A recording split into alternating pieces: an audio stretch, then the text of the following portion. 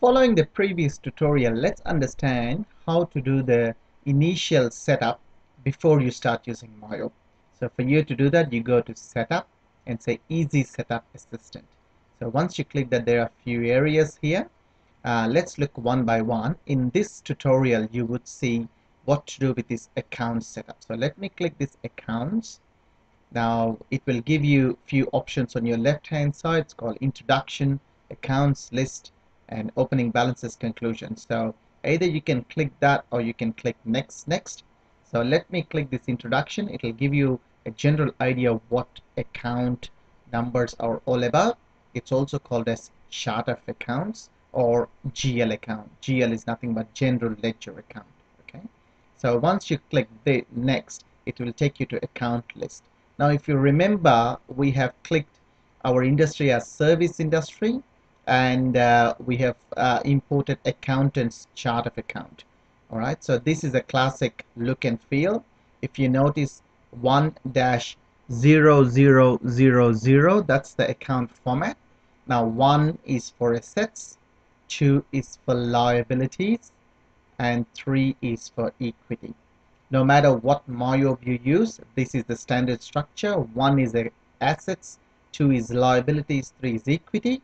Now, one, two, three are balance sheet items, and from 4 downwards, they are called profit and loss items. Okay, so 4 is income, 5 is cost of sales, 6 is expense, and there's no 7 and 8 is other income and 9 is other expense okay? For you to understand um, there are two types of industries. One is goods one is services if you look at service industry you would not have anything in cost of sales in general 90% of the service industries example for service industries are accounting firms or law firms or cleaning industries where uh, the services are offered the other type is goods industries where you can either manufacture the goods or import the goods.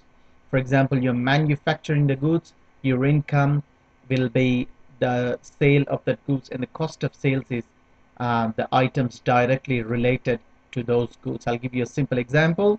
If you're in the business of manufacturing a pen, then your income would be the sales from that pen and cost of sales would be the factory expenses you incurred to make the pen something like plastic ink metal packaging and everything is cost of sales now the, in that case the six category expenses are usually called as overheads like all these office expenses something like accounting something like advertising bank charges. So that's the classification. That's the difference between five and six uh, cost of sales and expense. And if you come down other income and other expense. So usually you'll get interest income and interest expense. But to get but to get more understanding just talk to your external accountant or financial controller how to understand more about this okay so that is the account list. Now in MYOB wherever you see this white arrow that means you can edit that information. So let me click that information and then it will take you to the account. See this is the look and feel of account. You have a profile which is a header account. So let me say okay I'll go one below and click this white arrow. You see the detailed account. So you got two types of accounts header account and detailed account let's look at header account first. So you got the asset classification asset account type asset number and you can change this name if you want to. The next section is detailed banking and history. If I go to detailed account it's more easy for me to explain. So let me click that white arrow. So you got a profile that's a detailed account which sits under the header account okay? So the account classification is bank when you click this classification as bank it will allow you to reconcile the bank. I will tell you what is reconciliation when I'm looking at bank area okay? So there are a few categories here. Put it as bank for you to reconcile. That's my check account. Go to detail. And here you can set up the tax codes GST or NT again when I'm discussing the GST module I will go in detail about it. Um, so in this example for this tutorial this is a bank account and it has got detail to empty for more information talk to your financial controller or financial accountant on this GST setup. The next one is banking area. Now here you can put your bank numbers BSB in Australia BSB 6 digits bank account number is 9 digits. Bank account name would be something like Krish Ravipati Pty Ltd and if I have a trading name something like McDonald's I would say yep trading as McDonald's Southport or McDonald's Gold Coast. Okay? And then once you create this this is called as an ABA file. I'll explain you in detail to give you a quick understanding um, when you are when you want to pay people from your bank account MYOB allows you to select few options and then just create an ABA file which you can upload that into bank okay when I'm discussing banking module I will go in detail about the ABA file the next one is history so once you start putting the information in it will just generate the history here okay so that's a bit of uh, understanding, a background about this GL account.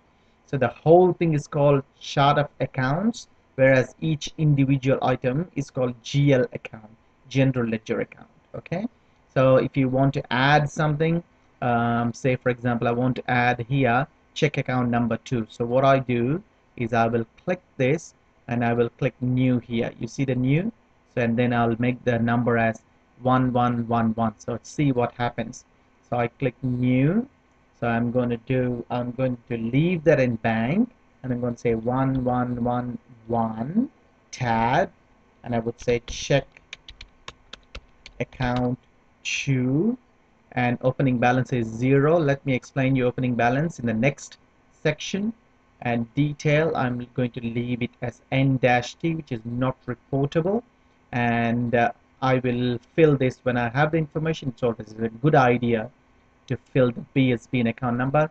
So just give a random BSB number 1, 2, 3, 4, 5, 6 and as soon as you hit tab you would see a dash appearing in between. Okay and this is usually a 9 digit number.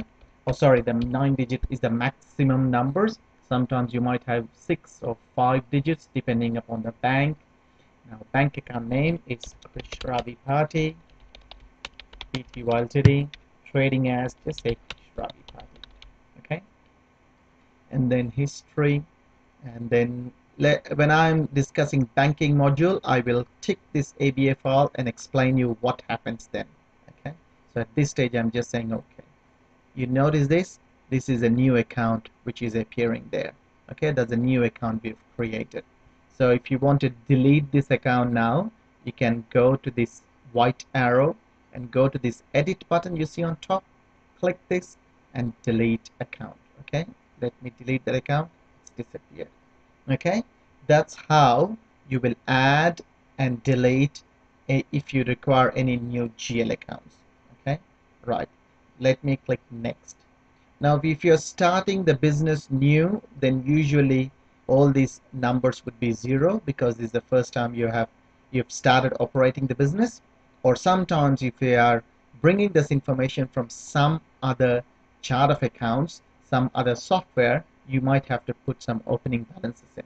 Okay, your accountant will, um, your your financial accountant or the financial controller would advise you what are the assets and liabilities.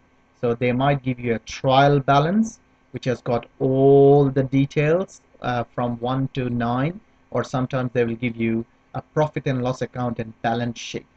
So you need to put balance sheet items in assets, liabilities and equity section and uh, oh here you yep sorry my apologies you don't bring forward profit and loss account balances anyways you only uh, bring forward balance sheet items okay? Um, so that's where you put the information in. So just say next and that's the conclusion. So once you have done that that means you have successfully completed the accounts list